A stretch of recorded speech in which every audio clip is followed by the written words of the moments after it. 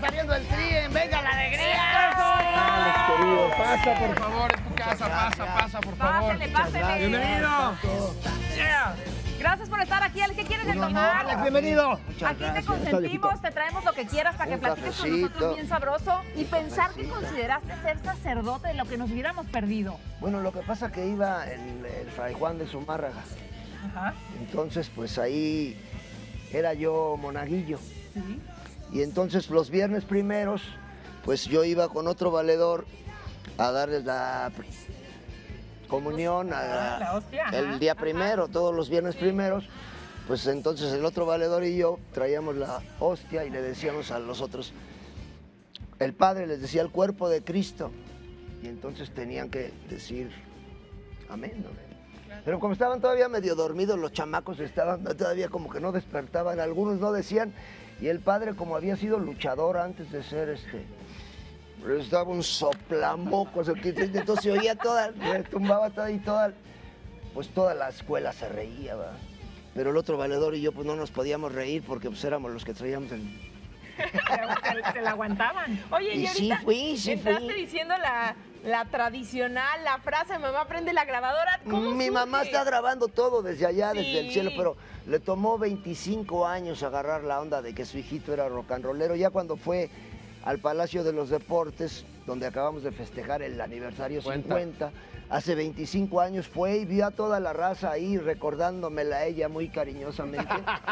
y entonces dijo, no, pues sí, mi hijito es rock and rollero. Ya, ya me quedó claro. Pero antes hizo. de eso, le- pues ahora sí que su único hijito y que le saliera rock and rollero, qué vergüenza para la familia, imagínate, todos los, toda la familia puro abogánster.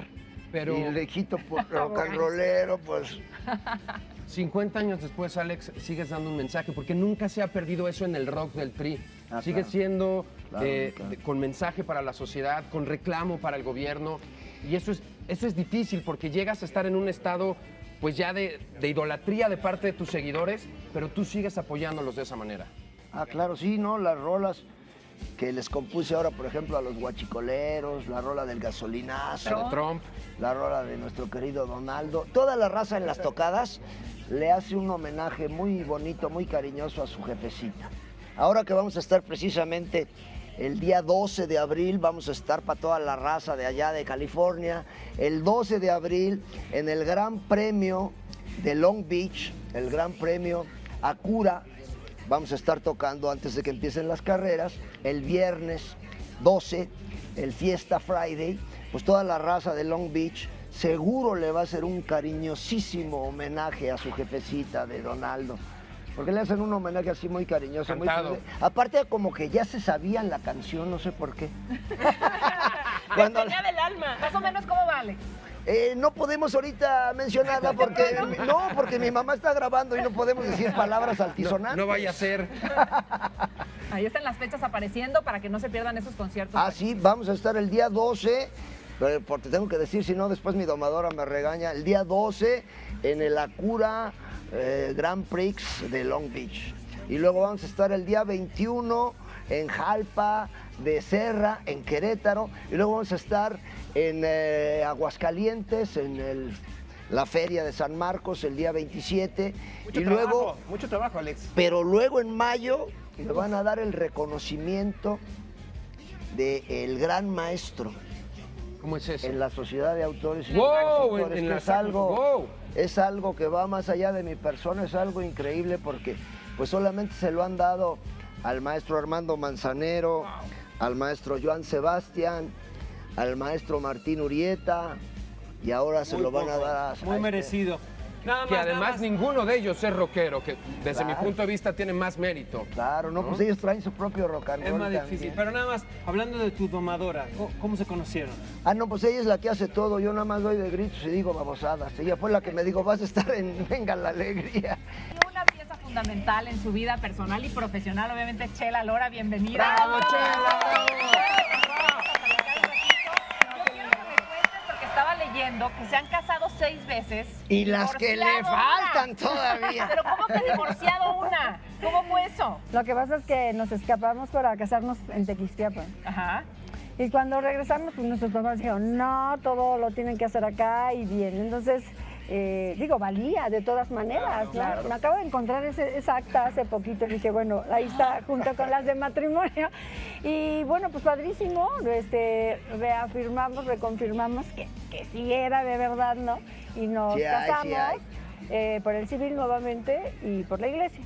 Y ya después nuestra primer eh, renovación de votos para los 20 años en Perú nos lo hizo una amiga asistente eh, peruana. Regresando Fuimos a un de concierto y después a los 25 en la Basílica de Guadalupe. Con Monseñor Darío. Monroy. Luego la- en Las Vegas los 30, luego Cuando los nos dieron 35. el Grammy de la excelencia musical, pues pasamos por ahí, vimos, pues ahí están los wedding chapels y todo, y querían que Elvis fuera por nosotros en un Cadillac rosa, pero le dijimos, nosotros llegamos solos. An- Antes de, antes de ir al corte los, los interrumpí eh, porque ibas a contar de cómo se conocieron. Yo Ah, me sé la historia por. Celia, que es cuando les dicen a ustedes, Celia, estás muy rebelde, les dice, por favor, se conocieron en Avándaro. por Dios. Bueno, yo me escapé para ir a, conocerlo. sí, no, bueno, es que Avándaro fue fundamental, ¿no? O sea, ahí, de ahí se hizo historia para muchas cosas. Y pues ahí nació también nuestra historia de amor, que son, este año cumplimos 39 años ya de, de casados. 39 años de casados. Y nueve de novios. Y nueve de digamos. novios, claro. O sea, que tenemos toda una, una vida juntos y... Y pues, lo que le falta Haciendo- todavía. El fruto de este gran amor platicó con Venga la Alegría. Vamos a ver qué les dice. Siempre fue muy normal. Mis vacaciones eran ir a grabar sus discos desde que yo tenía cuatro años. Siempre mi mamá las cuadraba para que fueran al mismo tiempo que mis vacaciones de hombre de primaria y de kinder. Digo, yo desde que nací él ya era quien es, ¿no? Nada más ha sido en, en aumento y gracias a Dios muy musical. Muy diferente a, que si me pongo a compararlo con otra gente que conozco es aburrido. Muy emocionadas, hablo por, obviamente por las dos y muy orgullosas de él. El show, el concierto que haga, no importa qué tan qué tanto dure. O sea, es muy como muy intenso porque él es así. Él hace señas cuando va a empezar tal canción. O estoy viendo, o te das más cuenta cuando falla algo, cuando no se oye algo, cuando ya se enojó. Para mí era muy normal y era su trabajo. No era algo así de que, no sé, que pensara que era como los otros papás, ¿no? Gracias a Dios, no. es muy divertido, o sea, es como mi amigo. A veces te peleas y a veces está súper, pero nos llevamos súper bien. Entonces él quiere paz, quiere estar. ¿Qué tal? Babean. Gatito para la baba. Divina Una- una nuestra hija hija. nada más. Nada más. Sí, no podía haber más, la verdad, porque yo me hice cargo, me convertí en su manager. Entonces, pues, mi mamá me decía, ten otro bebé, yo te lo cuido. Dije, no, pues si no la puedo cuidar a ella, o sea, no lo voy a poder cuidar, no podemos tener otro. Fue viajar mucho, ha sido viajar mucho. Bueno, perdón. bueno. Has tenido otros bebés y de hecho hemos sido consuegros. Ah, eso es cierto. ¿eh? Eso es cierto. consuegros de nuestros perritos. Exacto. Rosco y Kenia. Ve nada más se amaron, pareja. se amaron. Ay, romance. Oye, pero en este día tan importante donde aquí en Venga la Alegría, pues te queremos hacer un homenaje. Muchas Hay una persona gracias. que pasó a saludar y te dejó algo por aquí. Mira, checa de quién se Oh, trata. muchas gracias. ¿Qué pasó, Alex? Me da mucho gusto saber que cumple 50 años con el Tri. La verdad, muchas felicidades por estos 50 años, que sean muchísimos más, porque te queremos, porque te apreciamos, porque además es de la música que todos estamos esperando y viviendo con ustedes. ¡Y que vive el rock and roll! ¡Felicidades, mi Alex! Acá desde el Club América, muchos, muchos abrazos. Qué buena onda. Piojo. Buenísima onda. Cuando fue el partido de el Rock and Roll, Ajá. hubo un juego de México contra Argentina y nosotros... músicos, de De músicos, sí. Y teníamos nosotros de refuerzos a, a Herrera y a Luis Miguel Salvador. Y aquellos tenían unos del Boca Juniors, pero pues con mucho gusto les metimos 9 a 4. Tómala. Bien hecho, bien hecho. ¡Qué paliza! No, pues fueron, eh, o sea, lo sentimos mucho, pero Sí. después la chava me dijo, oye, échales una porra, porque me estaban llorando como si hubieran perdido el mundial, ¿no? Y le dice, ay, diles algo porque están muy apachurrados. Le dije, no importa que haya perdido Argentina, vámonos todos a la cantina. Y es viernes, Alex Lora se queda todo el programa Pero no les gustó, no les No les gustó. gustó.